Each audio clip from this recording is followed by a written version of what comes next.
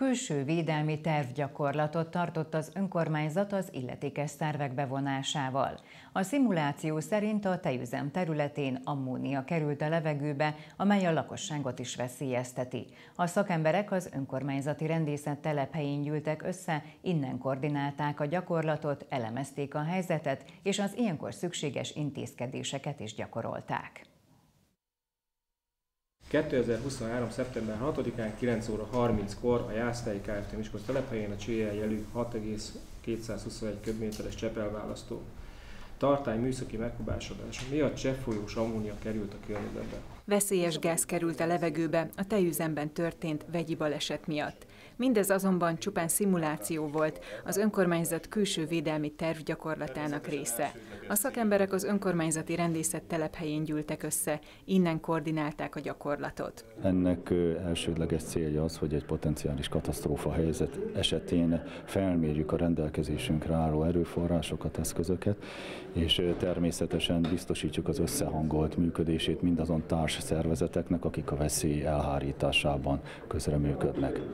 Itt egy éles helyzetben ezeket a feladatokat gördülékenyen kell végrehajtani. Természetesen ugye elsődleges cél a lakosság életének, egészségének megvédése, de ez viszonylag gyors és rugalmas veszélyelhárítást is feltételez, illetve a vagyonbiztonság megteremtését. A katasztrófa védelmi kirendeltség vezetői, a rendőrség, a rendészet, a mentőszolgálat, a Városgazda Kft. és a közlekedési vállalat is részt vett a gyakorlatban. Ennél a gyakorlatnál igazából egy ammónia szivárgást fogunk szimulálni. Ez egy cseppleválasztó tartály műszaki meghibásodása miatt nagy mennyiségű ammónia, cseppfős ammónia szabadul ki, és ennek a uralkodó széliránynak köszönhetően egy, egy általános iskola felé fogja vinni ezt a veszélyes, veszélyes anyaggal teli gázfelhőt a szél, és ezt kell majd ott egy elzárkóztatással szimulálni, illusztrálni a gyerekek védelmét, illetve hát ahogy említettem, a város meghozza szükséges intézkedéseket a lakosok védelme érdekében. Vegyvédelmi ruhába öltöznek a tejgyár munkatársai, így tudják elhárítani a veszélyes helyzetet.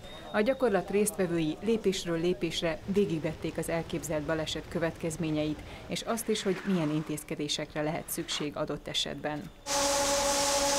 A törvény szerint évente szükséges részleges gyakorlatot tartani, három évente pedig komplex gyakorlatot kell végrehajtani, vagyis a résztvevő szervezetek egészét be kell vonni a szimulációba és a katasztrófa elhárításba.